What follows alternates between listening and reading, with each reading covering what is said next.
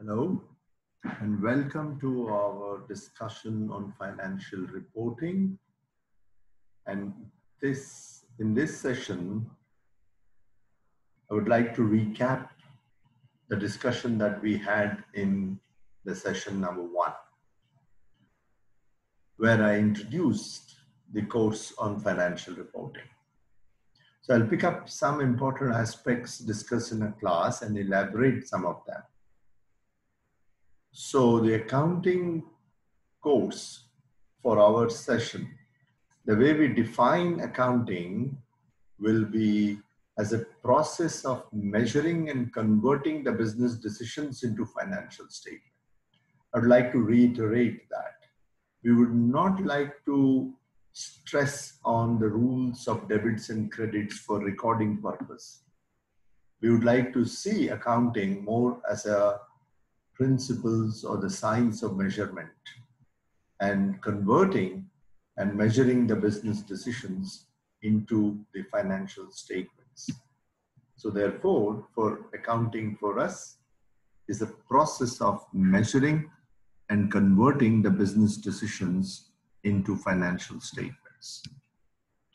So what we expect during this course is understand the business decisions observe the business decisions, classify the business decisions into financing decisions, investment decisions, operating decisions, and identify the financial items in those decisions and convert them into financial statements. Understand the business decisions, identify and measure the business financial items and convert the business decisions into financial statements. The business decisions, as I mentioned, are classified both in finance and accounting into three categories financing, investment, and operating.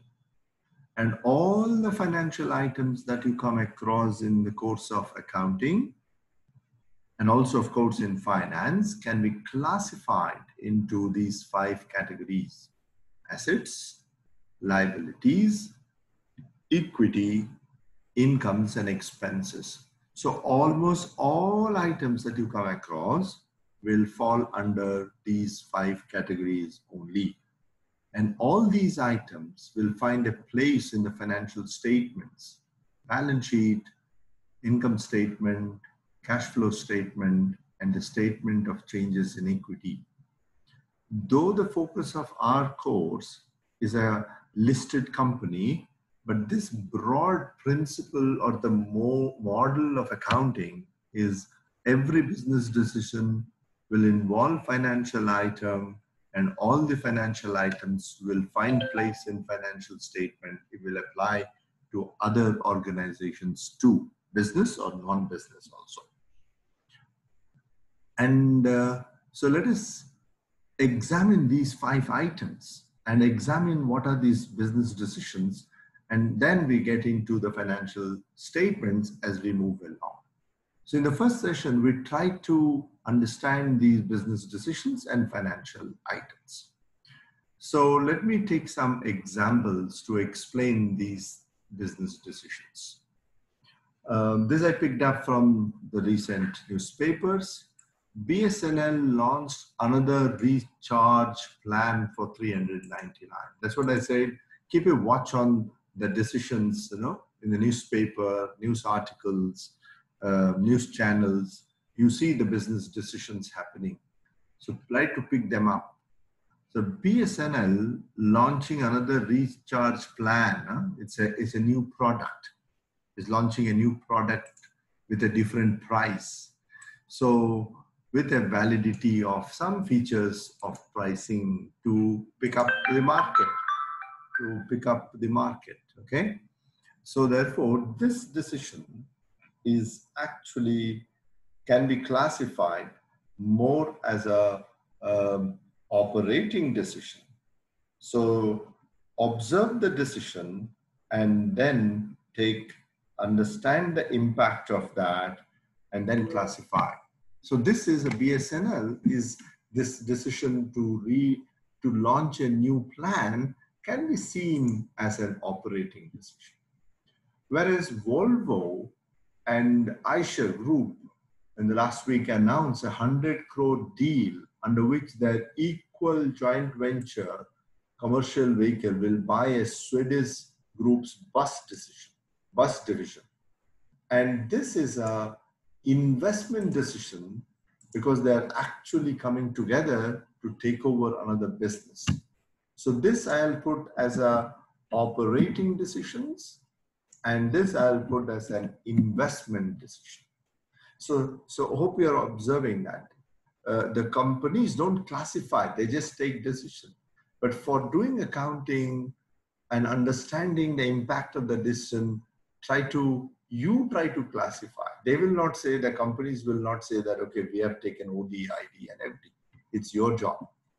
Similarly, uh, in the near, uh, maybe in the month of March, the SBI card and payment services limited, which uses the SBI card, issues SBI card, which is a subsidiary of SBI, made an initial public offer of equity shares of face value of 10 at a market price, at a price of uh, 755, at a price of 755 per equity share.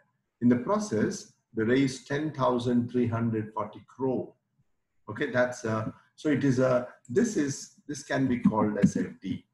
So so therefore, you pick up a newspaper and observe the decision. Go to the company side and observe the various decisions that a company that you would like to understand or the company that you would like to work and see their decisions and try to classify them into these three categories because this classification has some impact on your recording and reporting and measurement.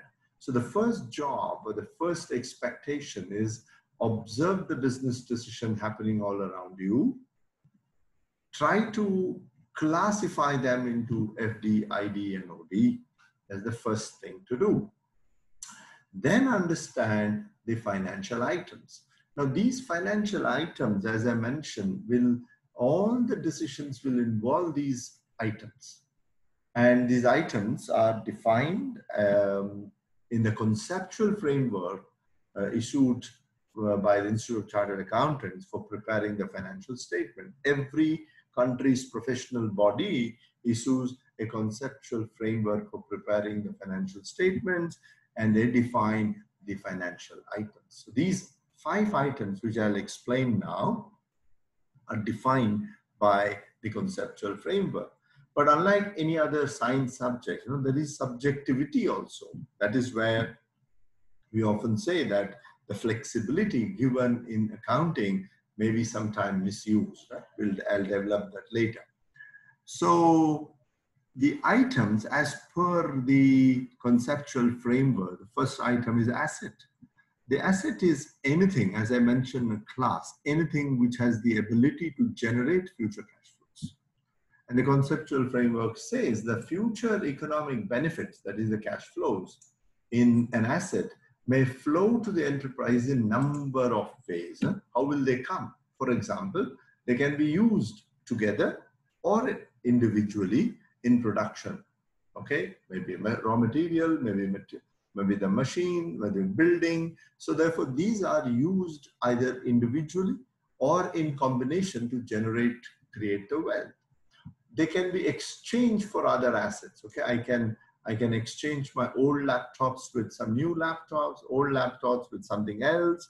So they can be exchanged. But they can also be used to settle a liability. If I'm having a, Uh, a, loan on my balance sheet from my friend or my sister concern. So that I can transfer some of my assets to reduce my liability or the cash can be distributed among the owners. So therefore asset has several uses.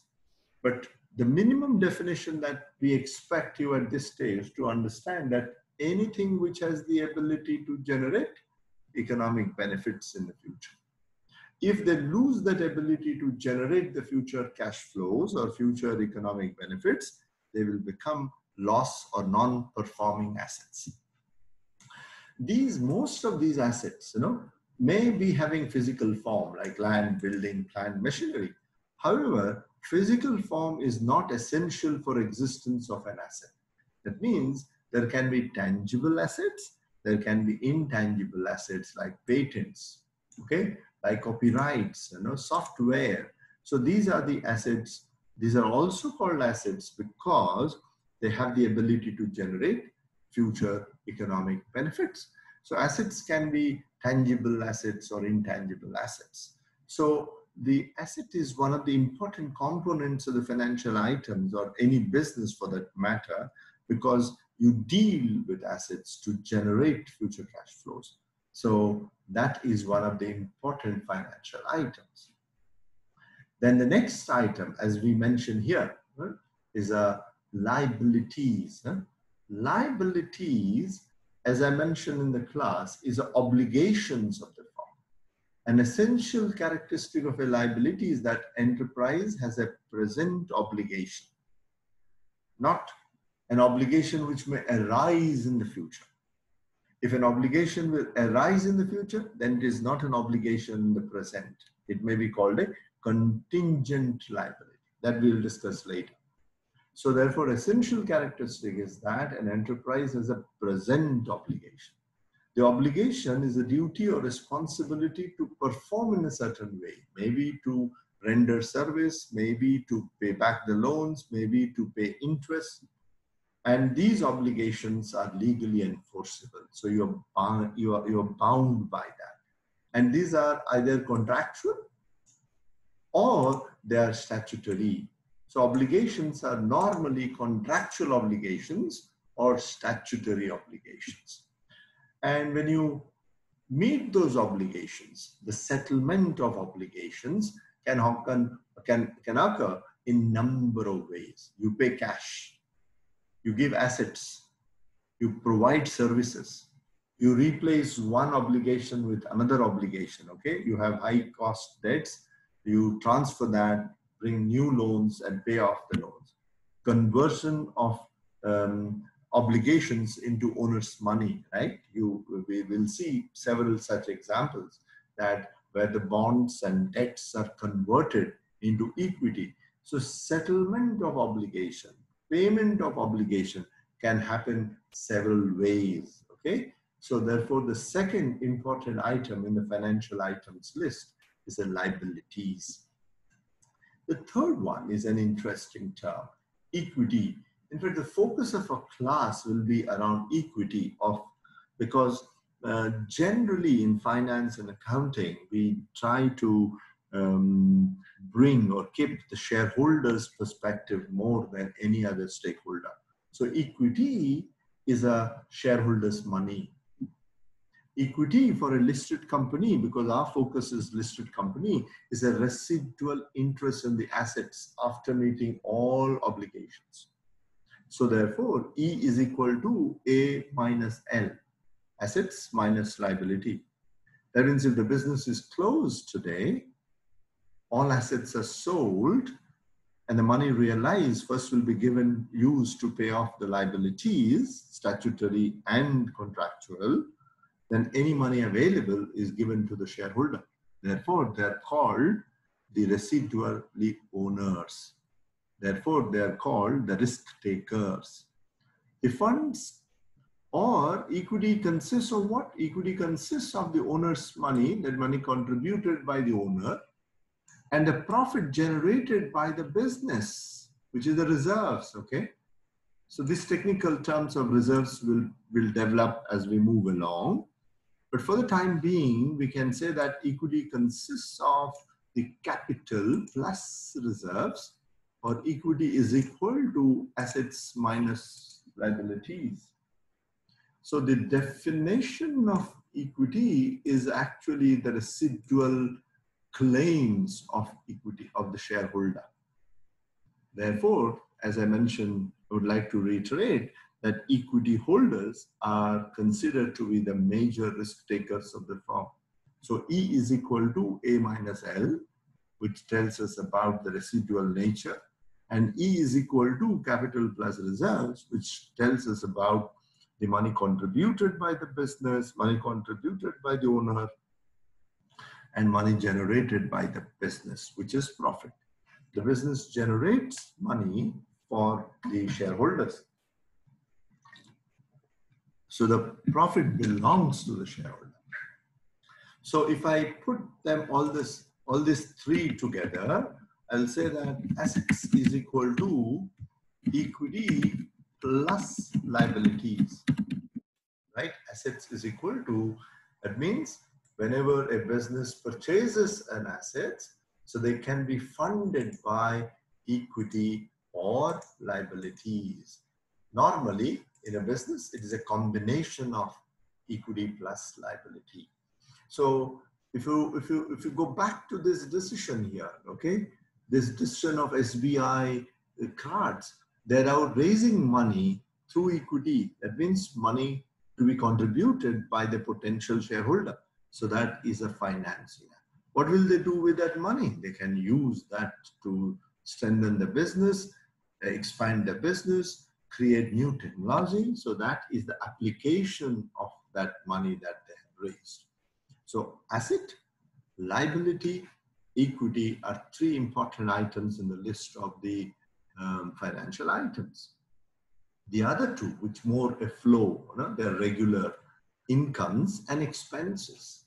So just like A is equal to E plus L, incomes and expenses will also give us something interesting for us. Income, the definition of income eh, includes both the revenue and gains. The revenue comes from your day-to-day -day operations. If Tata Steel sells steel, so that is a revenue for Tata Steel. Okay, if XIMB collects fees from the students, that is the main revenue from the main activity.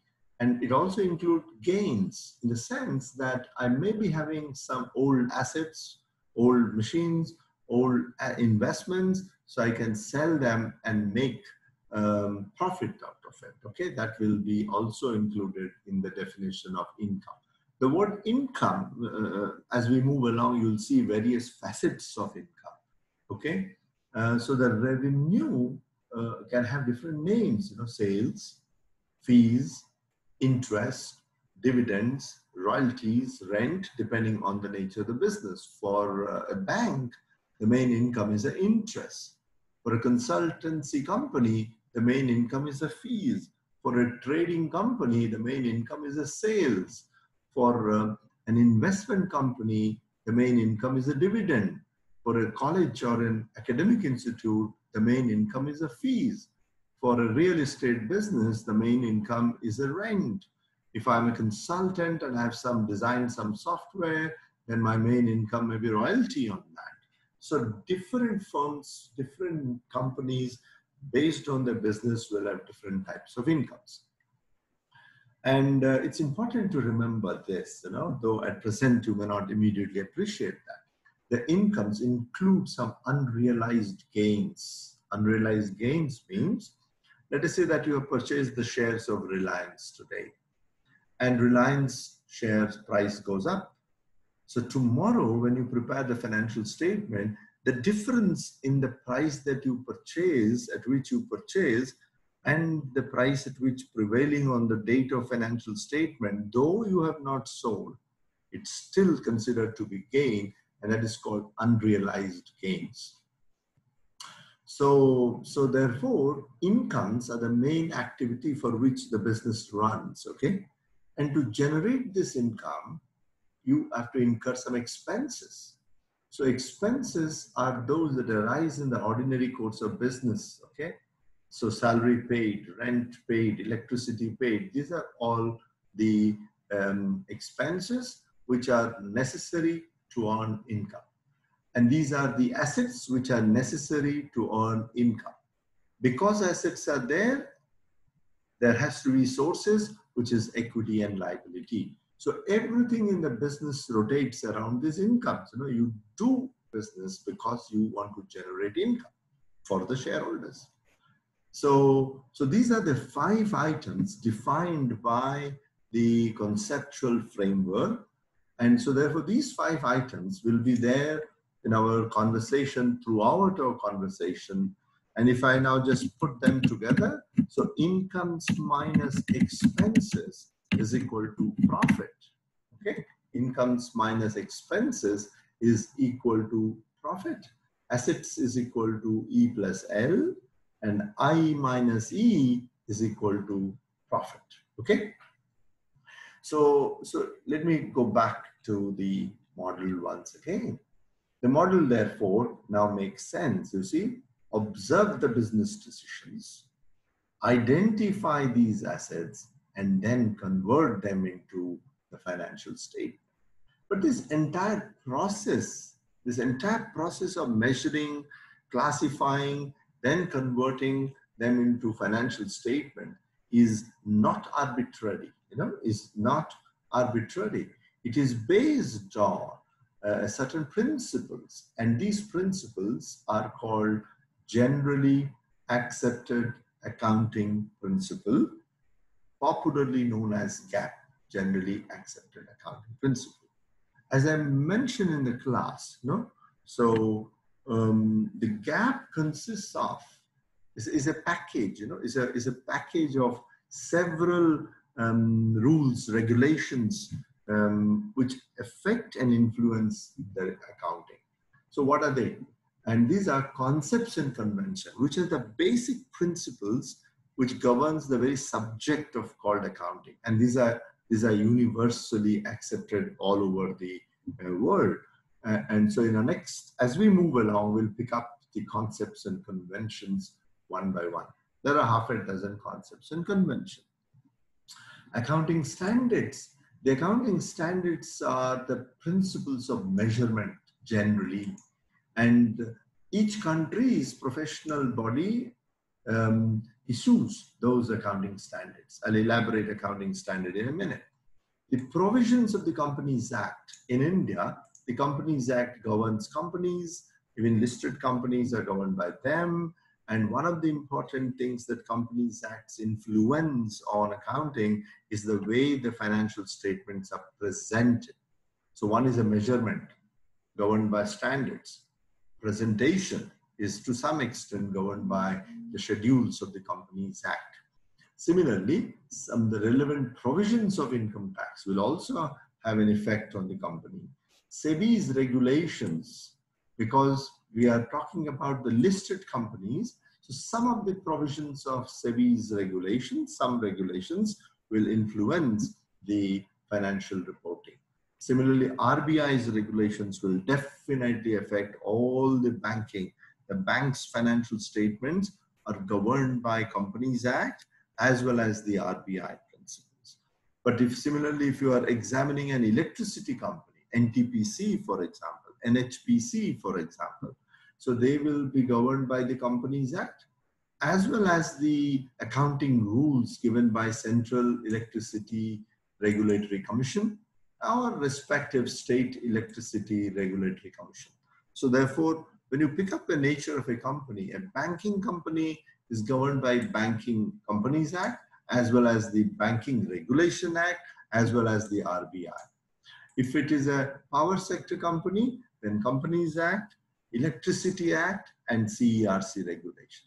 If it is an insurance company, then insurance companies will also be governed by Companies Act and Insurance Regulatory uh, Authority, IRDA's regulations related to accounting will be affected, will be influencing. So therefore, uh, all these provisions are together can be put under a broad term. So when you want to understand an Indian company, you should know that the financial statements are not done arbitrarily. The annual reports are based on certain principles and these principles are coming from all these concepts, conventions, standards, acts, regulations, commissions, statements, and all. So as I mentioned, let me, let me spend a minute on accounting standards. The accounting standards that we are going to use in our class, accounting standards that we are going to use in our class uh, will be IND AS. They're called Indian Accounting Standards, popularly known as IND AS. IND AS were issued by the central government of India. under the supervision and control of Accounting Standard Board of the Institute of Chartered Accountants of India in consultation with the National Advisory Committee of Accounting Standard. So therefore, Ministry of Corporate Affairs, um, uh, we are using Ind AS because we are talking about the companies only. And, uh, and because we are talking about the companies and that to listed companies, so for us, what is important is the Ind AS. Ind AS is applicable to us because for our class, are relevant for our class, because we are talking about listed companies, all listed companies are required to follow Ind AS. If it is not a listed company, an unlisted company, if the net worth of that company, that means the equity is more than 250 crore, they are also required to follow Ind AS. Though in principle, we may not use unlisted companies, but be aware that for an unlisted company, also Ind AS are required. Banking companies, government has postponed the applications. And also, we, as I mentioned in my class, maybe we are not going to pick up the banking companies in the first term. So for us, the focus is listed companies. And because the focus is listed company, we are going to use Ind AS throughout the, as and when required, we'll fall back on accounting standard. What are those accounting standard? That the accounting standards are used for in all other cases. What does that mean? All other cases means if they are listed, uh, of course, Ind AS will apply. But if they're not listed and they're less than 250 crore net worth, there you'll see accounting standard. And in, in, in, in a simple layperson, layman's language, I'll call this new, okay? Uh, you don't come across this in textbook as new standard, but just for the, our own clarification, I'll put this as old and new. So therefore, for our class, we will focus on the old, uh, the new accounting standards because our focus is the listed companies. Okay, but if you want, if you're picking up a company which is not listed and it is below 250 crore and you want to examine, absolutely most welcome. But in that case, we would like to see the relevant accounting standard.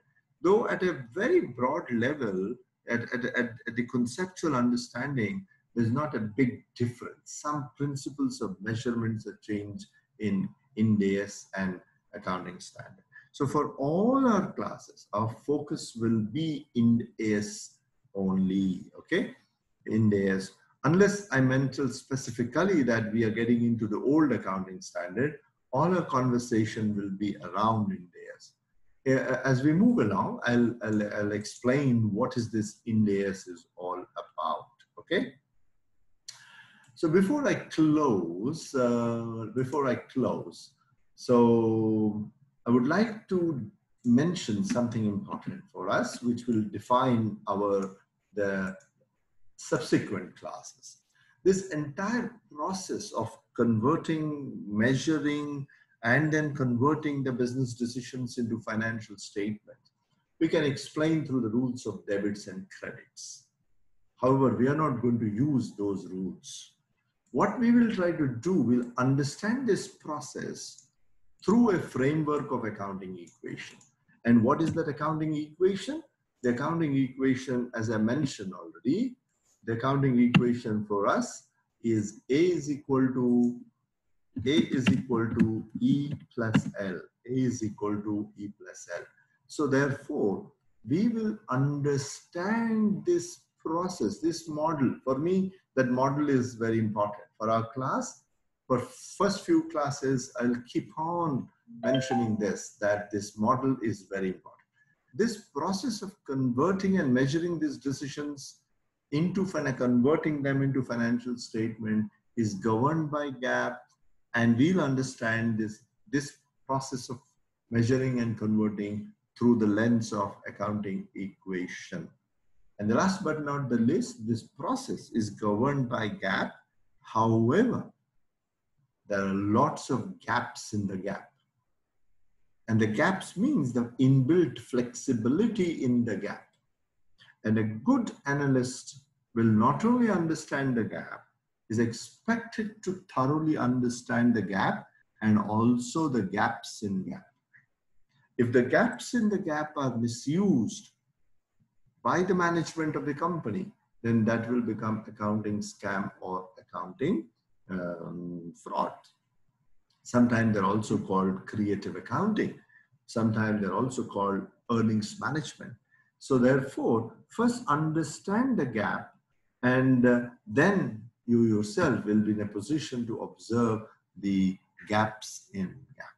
But our focus continues um, on the definition of accounting is understand the business decisions, identify the financial items, measure them, convert them into financial statements. Okay, thank you very much.